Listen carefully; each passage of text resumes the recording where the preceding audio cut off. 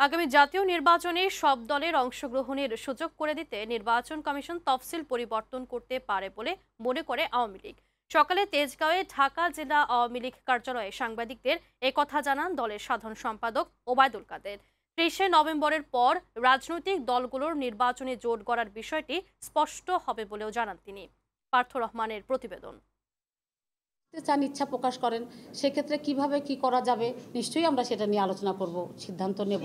আমাদের যতগুলো নিবন্ধিত দল আছে, সবাই আসুক, একটা উৎসব মুখর পরিবেশ তৈরি হোক, একটা সুন্দর পরিবেশ তৈরি হোক। তফসিল ঘোষণা হলেও বিএনপির নেতৃত্বে গঠিত জোটের দলগুলো শেষ মুহূর্তে নির্বাচনে অংশ নিতে চাইলে কমিশন সুযোগ করে দেবে। সোমবার সাংবাদিকদের এমনটি জানিয়েছিলেন নির্বাচন কমিশনার রাশেদা সুলতানা।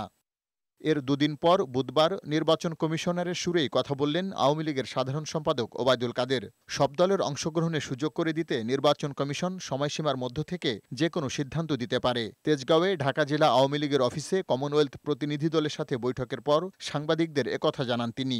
নির্বাচনের বিষয়টা অ্যাবসলিউটলি নির্বাচন কমিশন। সময়সীমা কিন্তু আছে। এই সময়সীমা ঠিক রেখে তারা যদি কোনো অ্যাডজাস্টমেন্ট করে অ্যাকোমোডেট করে সেটা নির্বাচন কমিশনের ব্যাপার।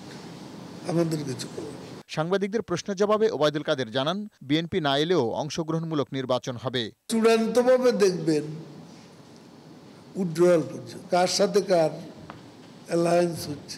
একই স্থানে আওয়ামী লীগের নির্বাচন পরিচালনা উপকমিটির সভায় অংশ নিয়ে ওবায়দুল কাদের বলেন নির্বাচনকে সামনে রেখে নাশকতা ও অপপ্রচার রোধ করাই এখন দলের মূল লক্ষ্য।